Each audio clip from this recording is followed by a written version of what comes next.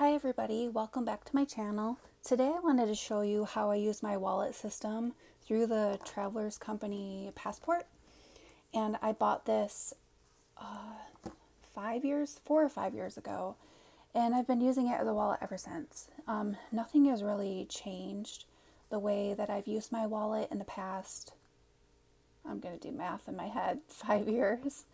Um, so I wanted to show you what I bought for this to make it more of a wallet and how affordable it was and where you can buy it as well. So for this, when I bought this, it was $35. I know that they have gone up in price since then, but the, this is a passport size and this is in brown. But I spent $35 on this. And there's a few things that I bought from AliExpress. I bought a bag of brass charms to kind of weigh down my little um, bookmark that it comes with. It does come with one strand, strand that you can um, piggyback, but I actually use the smaller strand for my insert. Now this insert I bought on AliExpress and I hold my cards. So what I do is I don't, is I actually like group up my debit cards and my ID together because I tend to always grab my ID and then I grab and then I group up all of our health insurance cards. And then any extra cards that are like store gift cards or any type of coupons that I need to use, I stuff them in this little pocket. And then the zipper actually holds some cash in there and it holds some extra cards, uh, like gift cards or um, library cards. So, not everything is on my phone. Not everything, you know, I don't keep an app of all of my cards. I just, I just don't like to do that. But I did get some things on AliExpress I got this little um, pen holder. It wasn't expensive. I'm going to go ahead and link everything down below of where I got this from.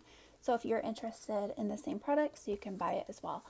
I think that I paid, at the time that I bought this, I think that I paid only $8 for this, but now I see that they're like 12 or 15 so they're still a good price because this is completely made of leather and I've had this for several years and it's not come apart. I mean, the stitching's been great. Um, I really wanted the mustard yellow one, but they didn't have it. So the the shop contacted me and asked me if the olive green one was okay. And I said, sure, that one was okay because it goes really good with the brown. I just wanted kind of neutral colors. So I just, what I do is I just put this on the little string. And I feel that if I don't piggyback my wallet, it holds it everything a lot better. So I put that on the little string because it does have notches in here that can hold it pretty nicely and snugly.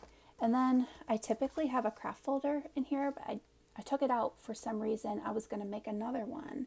And I don't remember where I put that, that craft folder. I'm going to have to get it, find it. But I typically carry a notebook with me, a blank notebook. And after it's filled out, I cover it up with stickers and use it for a vintage journaling. So I repurpose my notebooks all the time, but usually this has like a list or if I talk to a friend and I get a phone number or something, I mean, I just write down anything. And if we're going to the store, I write down a list of what I would like to get. Or sometimes I have a brain dump and I'm sitting there at a doctor's office. I'll pull this out of my purse and I'll just start writing my brain dump out on this. So I love having a notebook. But let me go ahead and fill this up off camera so that you can see how nice that everything fits in here with my cards. Now, if I mean, like, I can stack four cards into one section of the card slots. So if you have a lot of cards, I mean, you can still probably use this. It would be, it would be a really nice compact wallet with um, a place to hold a pen. And I just clip on a pen that has some type of metal clip and I clip it on on here and then I kind of hold it together like that. And I put it in my wallet and I carry it that way. Sometimes I actually do use a binder clip though too for my pen.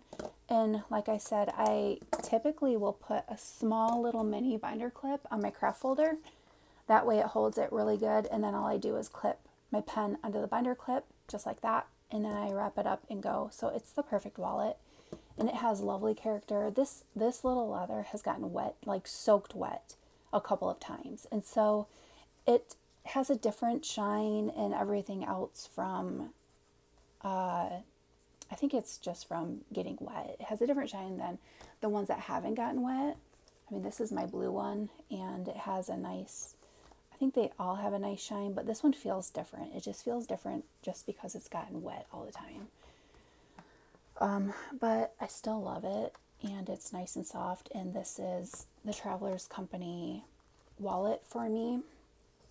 And it wasn't expensive. I mean, I do not, I am not one that likes to get lots of shoes or likes to get lots of purses. So I am not one that likes to get lots of wallets either. So I've had this for five years and it's been the perfect wallet for me. And I don't want to change it out with anything once in a while, though, when I do decide to change it out, I simply move into, like, if I want to combine a planner, a pocket planner, I simply grab my Chic Sparrow pocket planner, traveler's notebook, and I stick in, let me get an emptier one so that I can show you what it looks like.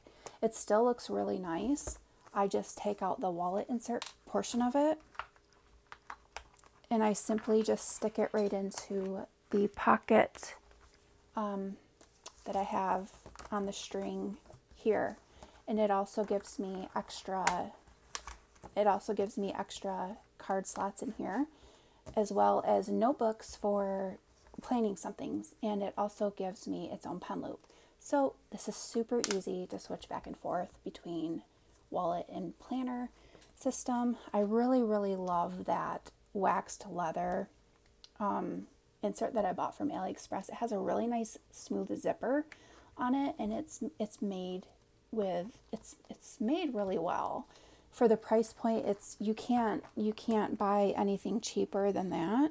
So I'll go ahead and link that below if you guys are interested in that. I can't say that they'll have, you know, this color in stock because I don't know what they have. As I said, I bought this several years ago and that was the color option that they were able to give me but um, it's really cute and it's it's extremely functional for the the size. And if you guys have any questions or want to see anything additional about my traveler's notebook setups, feel free to leave a comment below. And I hope you really enjoyed this video and that I hope it was helpful to you um, if you're thinking about doing a wallet combination for your traveler's notebook as well.